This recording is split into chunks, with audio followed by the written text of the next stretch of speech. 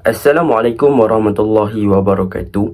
Hari ini kita nak buat ulasan perlawanan antara Malaysia versus Syria dalam Tier A punya persahabatan yang mana Malaysia seri dua sama. Gol Malaysia dijaringkan oleh Darren Lock dan juga Ahyar Rashid lah. And jadi untuk game ni sebenarnya satu achievement ataupun satu perkara petanda yang bagus dalam variation of tactical yang diimplementasikan oleh Kipanggun. Sebab kalau kita lihat dari segi formation, apa yang dilakukan oleh Kipanggun waktu first half dan juga second half adalah satu approach ataupun pendekatan yang berbeza lah yang digunakan oleh Kipanggun. Dan perkara ini adalah perkara yang menarik sebab apa? Sebab Kipanggun ada tactical yang boleh disesuaikan mengikut keadaan dalam sesuatu perlawanan. So kalau perlawanan ni perlukan taktikal macam ni, dia implement taktikal macam tu. So benda ni positif dan lagi satu perkara yang positif yang kita boleh lihat dalam game ni adalah bagaimana Malaysia lawan dengan tim yang berada dalam top 100 ataupun bawah daripada 100 dan ketinggalan 2-0 dan berjaya untuk bangkit untuk menyamakan kedudukan dua sama. Walaupun pada hakikatnya Malaysia boleh menang sebab ada beberapa percubaan ataupun dari segi decision making ketika melakukan percubaan boleh diperbaiki eh, tetapi keputusan seri adalah satu petanda positif sebelum bertemu dengan China. So bila bertemu dengan China nanti kita mengharapkan lagi perkara yang positif lah yang bakal ditunjukkan oleh skuad kenyalan Kipanggun. Dan untuk game ni secara tak langsung sebenarnya saya nak komen tentang pemilihan venue ataupun tempat perlawanan. Sebab tempat perlawanan macam main dekat Liga Sosial. Tapi bersyukurlah sebab China masih lagi menyediakan tempat macam tu kan? Dan saya mengharapkan lawan dengan China guna stadium lain lah. And jadi apa-apa pun padang dan juga pemilihan tempat tu bukanlah satu perkara yang besar yang kita boleh nak komen. Tetapi persembahan tu yang lebih kita nak tengok. Jadi tanpa membuang masa mari kita masuk ke dalam ulasan perlawanan. Untuk ulasan perlawanan kali ini saya akan mulakan dengan Malaysia dahululah. Saya akan mulakan dengan separuh masa yang pertama. Untuk separuh masa pertama, sebenarnya Malaysia dah bermain dengan baik dalam 10 minit yang pertama.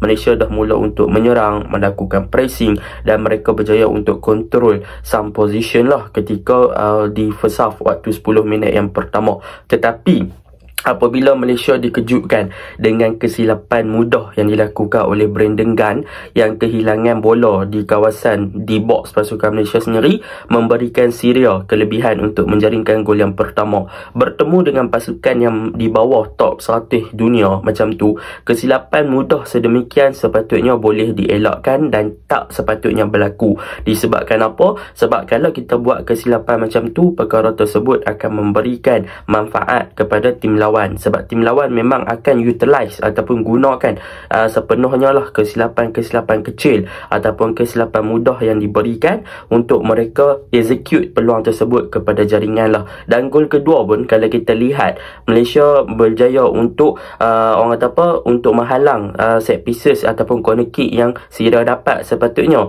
Tetapi daripada segi defending situation ketika uh, set pieces waktu Syria gol yang kedua tu agak meragukan ataupun kurang memuaskan lah sebab pemain Syria berjaya untuk melakukan free header sahaja. So tak ada orang yang follow up dengan crossing near post tersebut. Jadi benda-benda macam ni lah yang sepatutnya kita elakkan ketika first half. Sedangkan waktu tu tim kita dah ada momentum ataupun ada progress yang baik dalam bermain secara ball possession jadi untuk first half itu perkara pertama yang perlu Malaysia perbaiki. Elakkan buat simple-simple mistake yang boleh membolehkan pihak lawan menjadi menjaringkan gol daripada kesilapan yang kita lakukan secara sendiri dan kesilapan mudah tersebut. Itu yang pertama. Yang kedua, daripada segi corak permainan, apa yang kita boleh lihat waktu first half adalah Malaysia bermain dengan back four dan juga Malaysia bermain dengan tiga midfield. Dan dalam approach ataupun pendekatan yang cuba dilakukan oleh Kipanggun waktu first half, Malaysia lebih banyak menyerang ataupun overload di bahagian kiri dengan penggunaan daripada Kobing Ong dan juga Faisal Halim. Boleh boleh dikatakan combination yang ditunjukkan oleh kedua-dua player ni sebenarnya bagus sebab mereka berjaya untuk menggerakkan serangan yang efektif dan beberapa kali berjaya untuk memecah belahkan pertahanan pasukan Syria di kawasan kiri pasukan Malaysia lah. Jadi apabila mereka overload di bahagian kiri, kita boleh nampak serangan tersebut agak berbahaya. Cumanya yang menjadi masalah dalam transisi ketika menyerang untuk pasukan Malaysia ketika first half adalah penlibatan daripada bahagian tengah daripada segi penggunaan pivot berseorangan ataupun single pivot yang dimainkan oleh Brandon Gunn. Kalau kita lihat untuk game ni, Brandon Gunn di dalam padang gagal untuk memberi influence ataupun memberi something yang positif kepada pasukan Malaysia dalam ball progression di bahagian middle third. Sebaliknya, siapa yang duk buat kerja untuk waktu first half adalah lebih kepada penggunaan daripada Stuart Wilkin yang sanggup untuk drop lebih deeper untuk collect bola daripada bahagian pertahanan sama ada daripada Syarul Saad ataupun daripada Diongkus untuk push bawa ke bahagian hadapan. Jadi kita boleh nampak yang penlibatan daripada Brandon Gunn agak kurang efektif. Dan dalam pada masa yang sama Malaysia juga bermain dengan dua offensive fullback iaitu Matt dan juga Kobe Ong akan naik lebih tinggi lah. Waktu first half cumanya waktu first half penlibatan daripada Matt Davis sewaktu Malaysia menyerang di bahagian kanan iaitu ketika Arif Aiman bermain di bahagian kanan adalah kurang berbanding di second half. Yang mana di second half baru kita nampak Matt Davis banyak libatkan diri untuk bermain dengan lebih ofensif dan lebih tinggi ke bahagian hadapan. Tetapi tapi disebabkan Arif Aiman kurang yang dapat support banyak serangan pasukan Malaysia yang berfokuskan kepada Arif Aiman berjaya dengan mudahnya dipatahkan lah. Kita boleh nampak untuk game ni memang tak dinafikan yang Arif Aiman agak struggle. Sebab apa? Sebab dia dikawal oleh dua orang pemain Syria iaitu 2v1 dengan sizing dan juga fizikal yang lebih besar daripada Arif Aiman. Mereka boleh untuk body dan juga mengekang pergerakan Arif Aiman. Jadi Arif Aiman agak terbatas disebabkan dia kurang support dan di second half berlakunya lah pertukaran kan jadi itu antara faktor lah kenapa first half Malaysia gagal untuk progress the ball dengan sangat baik sebab bahagian midfield Brandagan kurang influence bahagian kanan kurangnya support dan dalam pada masa yang sama masalah yang ketara ketika first half adalah daripada segi penggunaan Paulo Josue. Yang mana boleh dikatakan Paulo Josue untuk game ni dia diletakkan lebih kepada uh, target man ataupun kadang-kadang dia lebih kepada fast nine. Tapi mostly uh, overall game uh, memang Paulo Josue diletakkan lebih kepada target man. Cuma Contohnya untuk game ni kalau kita lihat daripada segi air duel ataupun daripada segi hold up game bagaimana Paulo Josue nak memenangi perebutan bola di udara dia berjaya buat benda tu sekali sahaja. Tapi most of the time Paulo Josue gagal untuk melaksanakan uh, orang kata apa uh, tugas yang diberikan kepada beliau untuk bertindak sebagai target man. Sebab apa saya kata begitu? Sebab banyak gerakan-gerakan yang dilakukan oleh pasukan Malaysia sama ada di bahagian kiri bahagian tengah ataupun bahagian kanan ketika first half. Banyak crossing-crossing crossing yang dah diletakkan bagi saya satu placement yang agak bagus untuk seorang striker sepatutnya lah. Tetapi Paulo Jose gagal untuk mengambil peluang tersebut untuk attack the ball ataupun untuk menyambut hantaran-hantaran yang dilakukan. Sebaliknya apa yang dilakukan oleh Paulo Jose, dia sedaya upaya untuk terima bola tu untuk berada di kaki dia ataupun untuk sampai. Dia just wait there. So dia tak attack the ball ataupun tak cuba untuk challenge. So benda ni agak kurang lah yang menyebabkan bahagian attacking Malaysia kekurangan seorang seorang striker. Jadi overall untuk first half Malaysia bermain dengan baik, ada beberapa percubaan, ada beberapa gerakan tetapi disebabkan kesilapan mudah yang dilakukan, Malaysia ketinggalan 2-0 disebabkan midfield dan juga bahagian kanan serta striker kurang berfungsi uh, dengan baik menyebabkan Malaysia agak uh, tenggelam daripada segi melakukan percubaan-percubaan berbahaya. Lebih kepada pengharapan daripada Hendrik dan juga Stuart untuk bermain di midfield dan combination antara Faisal Halim dan juga Kobe On di bahagian kiri yang lebih menyinar lah. Tetapi perkara yang patut kita puji adalah apabila masuk second half. Bila masuk second half, apa yang dikenal pasti oleh Kipanggun adalah dia mengenal pasti masalah-masalah yang ada ataupun kekurangan-kekurangan yang ada untuk pasukan Malaysia dalam perlawanan ini ketika separuh masa pertama. Jadi apabila masuk separuh masa kedua, Kipanggun tak tunggu lama. Dia buat pertukaran awal yang mana dia membawa keluar Arif Aiman, bawa keluar Syarul Saad dan juga membawa keluar Brandon Gunn. Jadi di second half, di separuh masa kedua, apa yang berlaku adalah Malaysia ber bertukar formation mereka iaitu daripada bermain dengan back 4 dan juga 3 di bahagian midfield ataupun 4-3-3 senang cerita Malaysia di second half bermain dengan 3-4-3 iaitu bermain dengan 2 wing back dan juga 2 midfield iaitu Stuart dan juga Hendrik Dos Santos dan Ahya Rashid di kiri Faisal Halim di kanan. Dan Paulo Josue masih lagi ada waktu ketika awal perlawanan lah dalam awal second half. Jadi apa yang dimainkan oleh pasukan Malaysia di second half adalah mereka cuba untuk mengubah transisi dan juga formation daripada segi mereka menyerang. Bermaksud di sini mereka cuba overload di bahagian flank ataupun wide area dan dalam pada masa yang sama mereka bermain untuk memfokuskan kepada dua midfield iaitu Stuart dan juga Hendrik untuk menggerakkan bahagian tengah bagi melakukan hantaran-hantaran dan juga memastikan transisi dari bertahan ke menyerang menyerang ke bertahan lebih fluid dan lebih bagus di bahagian tengah lah. So benda ni memang satu perubahan yang bagus kita boleh nampak apabila Malaysia masuk separuh masa kedua dalam pembinaan 3 iaitu Junior Estal, Syarul Nazim dan juga Dion Kus. Apa yang kita boleh nampak adalah Malaysia cuba membina build-up daripada bahagian bawah dengan satu gerakan yang menarik dengan penlibatan daripada Syarul Nazim, Junior Estal dan juga Dion Kus yang bermain dengan high.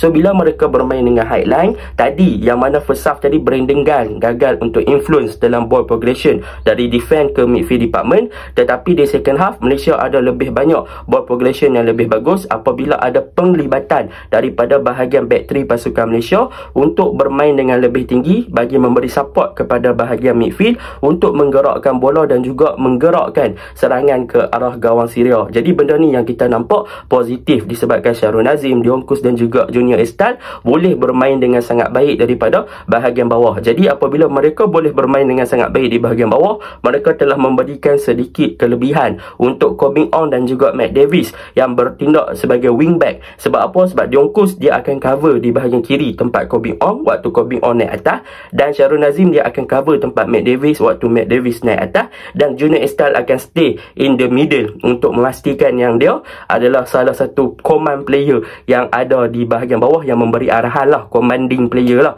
untuk bahagian pertahanan. Jadi apabila jadi macam ni Malaysia ada banyak transisi yang mana bahagian tengah Hendrik dan juga Stor Wilkin akan sentiasa combine untuk membantu ball progression dan juga up daripada bahagian bawah yang dilakukan Malaysia dan memberi ruang kepada Cobbing dan juga Matt Davis untuk naik lebih tinggi bagi memberi support kepada bahagian kanan dan kiri Malaysia iaitu Ahya Rashid dan juga Faisal Halim di kanan untuk lebih bergerak dengan lebih bebas. Jadi kita boleh nampak lah di second half banyak pergerakan-pergerakan yang dilakukan daripada bahagian bawah berjaya membolehkan transisi Malaysia daripada bahagian bawah ke atas berjalan dengan lebih lancar dan penggunaan daripada Dionkus yang paling saya suka sebenarnya. Kalau kita lihat untuk second half Dionkus dan juga Kobing Ong yang bergerak di bahagian kiri mereka sebenarnya saling uh, berinteraksi dan juga memahami antara satu sama lain. Sebab apa? sebab kita boleh nampak ketika Dionkus buat overlap adalah perkara yang paling efektif daripada Dionkus sewaktu uh, Dionkus buat overlap adalah daripada segi crossing.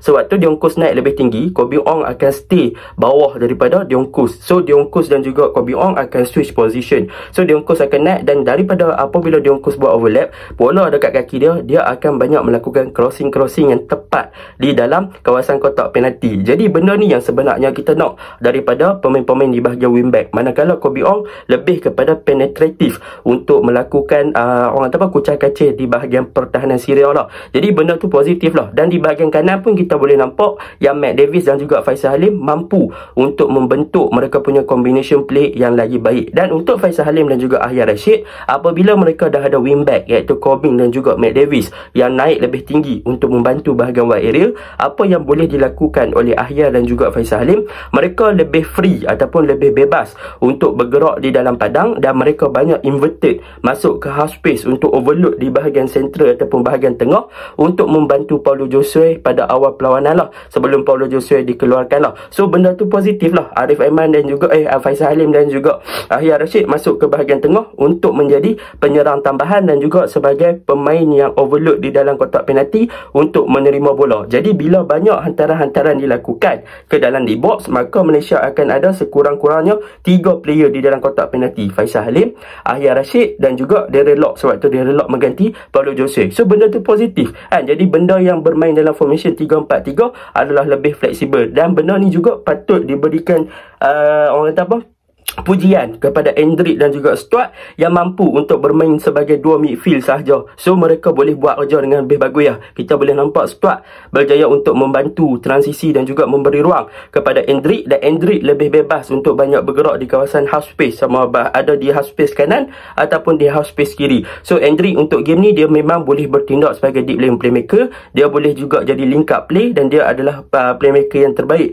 untuk pasukan Malaysia. So kita boleh nampak lah apa yang boleh dibuat oleh Hendrik adalah hantaran-hantaran uh, jauh dia memang super untuk gol Ahyar Rashid dan sebagainya. So benda tu positif. And, dan benda ni yang saya suka. Ahyar Rashid masuk memang jadi super sub. Faisal Halim lebih fleksibel di second half. Uh, mereka banyak lebih overload di bahagian tengah. So benda tu jadi positif. Dan yang paling positif adalah ketika Paulo Josue digantikan oleh Darren Lock. Bila Paulo Josue digantikan oleh Darren Lock, kita boleh nampak seorang striker yang sebenar. Yang mana seorang striker yang sebenar, dia tidak menunggu bola. Sebaliknya dia banyak untuk attack the ball waktu crossing-crossing dilakukan dan dia juga banyak untuk membantu progression ball daripada bahagian bawah yang mana dia boleh set up kepada Hendrik dan sebagainya. So benda tu positif dan dia ada satu percubaan uh, tandukan and so benda tu memang positif. So benda ni yang kita nak daripada seorang striker. So maksudnya dia relok dia relok lebih better daripada Paulo Josue dalam uh, progression dan juga dalam corak serangan yang dilakukan oleh pasukan Malaysia. Dan kita tak lupa jugalah kepada Safawi Rashid yang mana untuk game ni memang dia menyinar. Dia antara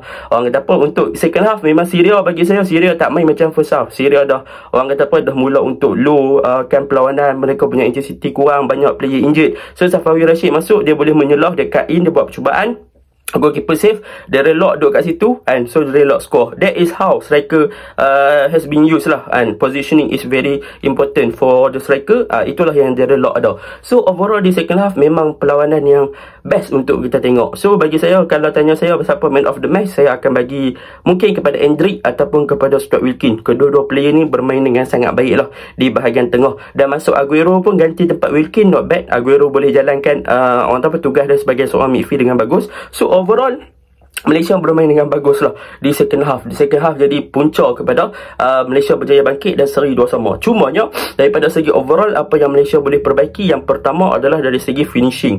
Sebab apa? Sebab finishing wise Malaysia boleh execute mungkin lebih daripada dua gol tetapi banyak percubaan-percubaan yang disia-siakan dan juga ada percubaan yang boleh dikatakan daripada segi decision making agak terlalu cepat untuk mereka melakukan percubaan. So mereka perlu improve decision making, mereka boleh improve mereka punya finishing untuk jadi lebih padu. So benda ni yang kita nak untuk skuad kebangsaan. Kalau baiki benda ni, mereka akan jadi lebih berbahaya. Dan yang paling penting, mungkin juga boleh uh, baiki daripada segi crossing yang lebih better. Ha, jadi benda ni akan menyebabkan skuad kebangsaan akan jadi lebih baik lah. Okay, itu je lah ulasan saya. Assalamualaikum.